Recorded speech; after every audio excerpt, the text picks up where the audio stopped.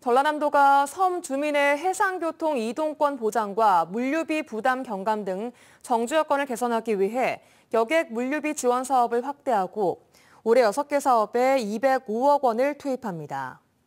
주요 사업은 섬 주민 여객선 운임 지원과 택배 운임 지원, 천원 여객선 운임, 생활연료 해상 운송비 지원 등입니다.